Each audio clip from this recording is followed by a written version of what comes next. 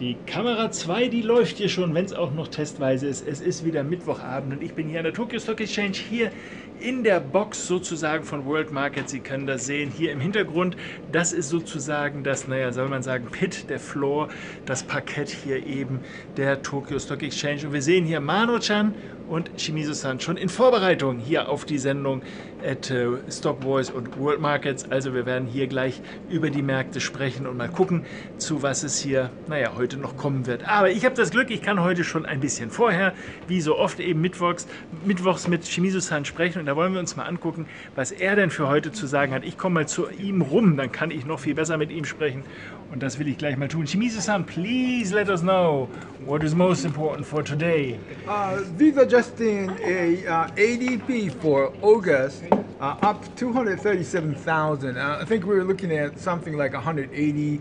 Uh, this is a lot more than we thought it was going to be. This is uh, how much of a private sector employment created for the month of uh, uh, August, increase of the July, uh, 237,000. And uh, GDP, second quarter GDP, US revised. This is a final revision, um, 3%. This is upgraded from a 2.6 uh, to uh, 3% at the final uh, number. And uh, also that was a, uh, boosted by uh, personal consumption. And uh, so uh, I guess economy is good and uh, consumers are doing whatever they were supposed to be doing because they have jobs. and uh, Will they spend the money? well, I think that's what, what it was, and uh, at least a, second quarter GDP.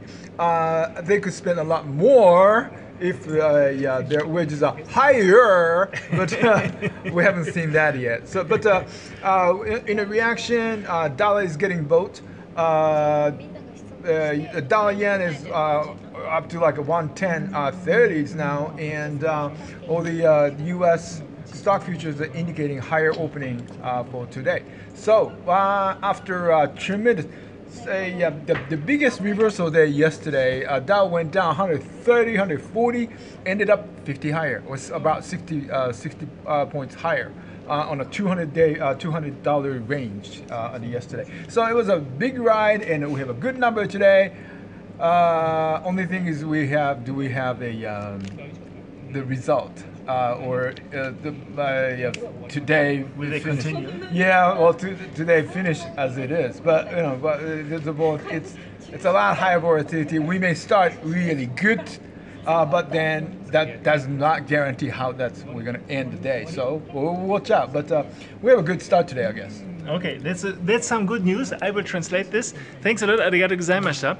Also ich wiederhole das nochmal zumindest ein bisschen auf Deutsch. Wir haben die ADP-Daten raus, also Arbeitsmarktdaten aus Amerika. Die sind gar nicht so schlecht ausgefallen. 237k, also 1000, dementsprechend wohl besser als erwartet. Das weiß ich nicht mehr ganz genau. Aber zumindest mal keine schlechte Nachricht, denn viele Jobs bedeutet natürlich, dass viele Leute Geld ausgeben können, sagt er.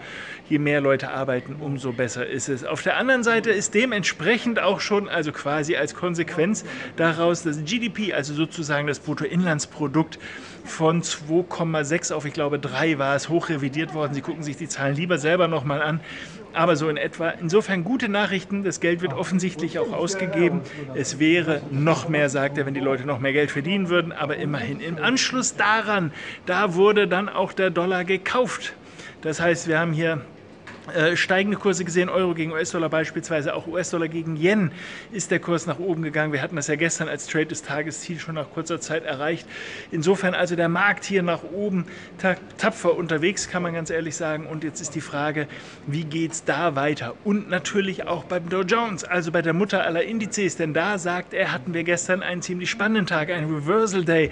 Er hatte mir im Vorfeld schon gesagt, wohl der größte, ich habe selbst nicht nachgeprüft, aber nach, dem, nach der Trump-Election also der Markt erstmal ziemlich schwach angefangen, möglicherweise auch eben wegen der Nordkorea-Situation, aber im Endeffekt alles Pustekuchen. Wir hatten eine Spanne von 200 Punkten in etwa und gegen Ende war es, strafen Sie mich lügen, ich glaube 50 Punkte sogar noch mehr. Auf jeden Fall war es ein Reversal und das sieht gar nicht so schlecht aus und auch charttechnisch muss ich sagen, ist vielleicht die Chance auf der Oberseite gar nicht so schlecht. Schickerweise habe ich äh, eher ein positives, zumindest mal eine Vorabindikation, was den Nikkei angeht. Der ist natürlich jetzt schon zu. Sie sehen, da ist keiner mehr am Arbeiten. Hier ist es schon mitten in der Nacht. Ich weiß nicht, ob Sie die Uhr hier ablesen können, aber hier passiert natürlich jetzt nichts mehr. Da Da geht es morgen um 9 Uhr, sprich heute Nacht um 2 Uhr ihrer Zeit geht es hier erst wieder weiter. Aber die Aussichten hier von dieser Seite zumindest mal nicht ganz so schlecht. Amerika, wie eben angesprochen, auch nicht. Das heißt, eigentlich könnte man damit rechnen, dass die Chancen nach oben die viel besseren sind. Ob es tatsächlich dazu kommt, na, das werden wir natürlich abwarten müssen. Ein paar Indikationen, die Sie verwenden können, die kennen Sie ja schon aus dem Trade des Tages. Da erzähle ich ja immer wieder ganz gerne mal, was der Markt machen müsste, um eigentlich diese Anschlusskäufe dann loszutreten. Denken Sie daran, die Schubrichtungen, wie sehen die aus? Die haben wir ja durchaus gehabt. Gucken Sie sich mal den Chart an in den letzten äh, naja, auf 15 Minuten Basis die letzten vielen Stunden, dann sehen Sie, dass wir da einen ziemlich guten Schub nach oben hatten. Wenn er jetzt ein bisschen runterwackeln würde, dann hätten wir eigentlich ideale Chancen, um dann nochmal weiterzukommen. Tatsächlich sehe ich auch diese komischen blauen Dinger, die Sie immer mal wieder sehen. Ich hatte es schon angesprochen hier, äh, diese blauen Balken, die wir als Chartsignal immer wieder haben. So einen sehe ich beim Dow Index, also nicht beim Dow Future, der ja jetzt auch schon gelaufen ist, denn der ist schon ein klein bisschen nach oben raus. Beim Index sehe ich aber die Chancen eben, dass wir jetzt nach, nach Long getriggert werden und dementsprechend auch die Anschlusskäufe noch kommen. Ob das so wird, das werden wir natürlich nachher dann sehen. Beziehungsweise Sie gucken sich das selber an, denn ich schicke Ihnen jetzt das Video, dann mache ich mal hier in dieser Sendung mit und anschließend sehen wir uns, wenn wir Glück haben, noch ein bisschen in den Märkten. Ich würde mich freuen, wenn es Ihnen gelingt, die richtigen Situationen rauszusuchen und wünsche Ihnen einen wunderbaren Abend. Bye, bye. Bye.